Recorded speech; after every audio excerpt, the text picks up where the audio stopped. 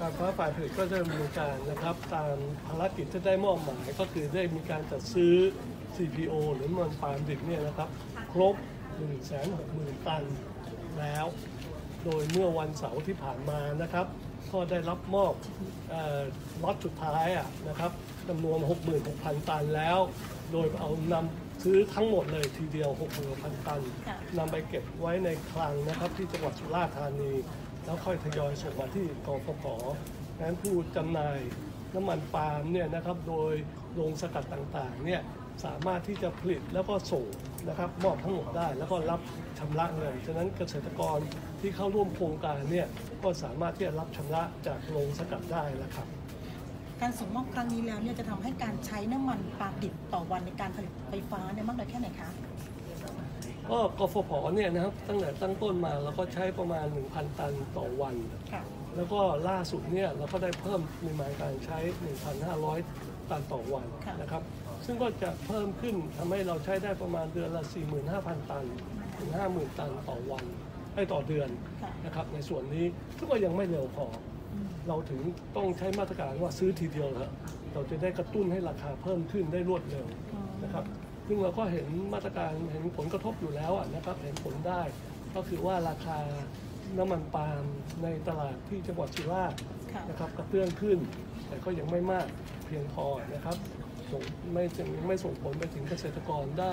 ในราคาไอ้ปาล์มสดเนี่ยนะครับที่จะขายได้ถึง 3 บาทต่อกิโลกรัมค่ะท่านปรีครับแสนหกหมื่นตันที่เราผลิตไฟฟ้าก็แล้ว B10 B20 ก็แล้วเนี่ยราคาปาล์มก็ยังไม่ดีขึ้นเท่าไหร่นะตรงเนี้ยมันเกิดจากอะไรแล้วกระทรวงพลังงานจะร่วมกับเอ่อเอ่อกระทรวงต่างๆดำเนินการยังไงบ้างคะ ครับ ก็ผลผลิตปาล์มที่เราไปตรวจสอบทั้งจากของกระทรวงเกษตรเองกระทรวงพาณิชย์นะครับ ที่ดำเนินการแล้วเราได้รับทราบมาเนี่ยนะครับว่าปีนี้ผลผลิตปาล์ม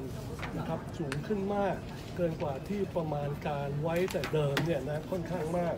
ก็คือปริมาณ 3 ล้านตันได้ต่อปีซึ่งแต่เดิมเรามาผลิตมา 2 ล้านนะครับ เพิ่มขึ้นเมื่อปีที่แล้วก็2ล้าน5แสนตันเนี่ยนะครับ ปีนี้เนี่ยคาดการณ์ว่าได้ 3 ล้านหรือจะมากกว่า 3 ล้านเล็กน้อยนะครับในส่วนนี้ซึ่งก็เป็นปริมาณที่มากฉะนั้นปริมาณที่เราพยายามดูดซับนะครับสร้างสมดุลมาจากสมมติฐานตั้งแต่ปลายปีที่แล้วก็อยู่ที่2ล้าน5แสนตัน ก็ไม่เพียงพอที่จะรองรับได้ทันนะครับเราก็พยายามปรับตัวโดยที่ท่านนายกรัฐมนตรีท่านได้สั่งการให้กระทรวงเกษตรและสหกรณ์และกระทรวงพาณิชย์เนี่ยนะครับร่วมกันไปพิจารณาดูว่า หากมาตรการที่จะให้กระทรวงพลังงานดูดซับเพิ่มขึ้นมาค่ะอีกแสนตันนะครับ ในราคาตลาดโดยซื้อทันทีเนี่ยหากช่วยกระตุ้นได้นะครับ ก็จะดำเนินการนำเสนอโดยเร็วครับอืมตัวแสนตันที่ว่านี่คือจะเป็นมาตรการเพิ่มเติมในอนาคตอันใกล้นี้ใช่ไหมคะครับเป็นมาตรการเพิ่มเติมนะครับ ตอนนี้อยู่ในการพิจารณาอยู่นะครับ ในส่วนนี้ฉะนั้นก็อยากจะให้ท่านเกษตรกรทุกท่านนะครับ ชาวสวนปาล์มมีความมั่นใจได้ว่า ในอนาคตเนี่ยนะครับจะเกิดความสมดุลในเรื่องของผลผลิตปาล์มและการใช้ปาล์มในประเทศไทยนะครับ และเรามีความมุ่งมั่นรัฐบาลมีความมุ่งมั่น ที่จะดำเนินทุกวิถีการเนี่ยครับให้ราคาปาล์มสดที่ท่านจำหน่ายออกมาเนี่ยค่ะให้อยู่ในระดับ 3 บาทหรือเกิน 3 บาทต่อกิโลได้ครับค่ะสรุปเรื่องของ B ต่างๆเลยสิคะ B10 B20 เห็นว่า B10 ก็ก็เริ่มครัที่บจะขายเป็นมีมาตรฐานแล้วครับเดี๋ยวจะก็ จาก แต่เดิมมาเนี่ยนะครับน้ำมันดีเซลเราก็มีส่วนผสมของไบโอดีเซลอยู่ 7%เราที่เราเรียกว่า B7 หรือดีเซลเกรดปกติเนี่ยนะครับ เมื่อต้นปีเราก็แนะนำเกรดพิเศษมาเพื่อดูดซับนะครับน้ำมันปาล์มให้มากขึ้นก็คือเราเรียกว่า B20 มีส่วนผสมจาก 7 เพิ่มจาก 7%เป็น 20%นะครับในของไบโอดีเซลในส่วนนี้ก็ช่วยดูดซับได้ แต่เนื่องจากว่าค่ายรถยนต์ยังยังไม่รองรับเป็นมาตรฐานสากลนะนะครับ เราจึงจำกัดการใช้อยู่สำหรับรถใหญ่ ซึ่งมีการยอมรับได้มากขึ้นนะครับ แล้วเราก็ให้ส่วนลดอยู่ 5 บาท ซึ่งก็ดูดซับได้นะครับ แต่เป็นโครงการที่ระยะยาว ต้องใช้เวลาในการสร้างความมั่นใจ ในส่วนนี้ก็สัปดาห์ที่แล้วเราก็ได้รับการยืนยันจากสมาคมผู้ผลิตยานยนต์ของญี่ปุ่นนะครับ ว่า ในกรณีหากเราสามารถผลิต B100 ได้มีความบริสุทธิ์สูงนะครับก็คือมีสิ่งเจือจางไม่เกินกว่า 0.4%ตามน้ำหนักแล้วเนี่ยนะครับเราเขาก็ยอมรับที่จะให้เราผสมถึง 10%ได้ เราจึงกำหนดมาตรการที่จะผสมเป็นดีเซลเกรดปกติเนี่ยนะครับในให้มีส่วนผสมของไบโอดีเซลถึง 10%เราเรียกว่า B10 ในส่วนนี้ ซึ่งจากมาตรการนี้เนี่ยก็จะช่วยดูดซับ เช่นปัจจุบัน B7 หรือเกรดดีเซลปกติเนี่ยเราใช้น้ำมันปาล์มอยู่น้ำมันปาล์มดิบอยู่ประมาณล้าน4แสนตันต่อปี ถ้าเราใช้ B20 ตามแผน 15 ล้านลิตรต่อวันเนี่ยนะครับเราก็จะใช้เพิ่มอีก6แสนตันต่อปี และถ้าเผื่อพัฒนาเป็น B10 ทั้งกระบวนการเราก็จะใช้เพิ่มอีก 5 0 0แสนตันต่อปี รวมๆทั้งหมดแล้วเนี่ยเราก็จะใช้ น้ำมันปาล์มดิบอยู่ประมาณ2ล้าน5แสนตันต่อปี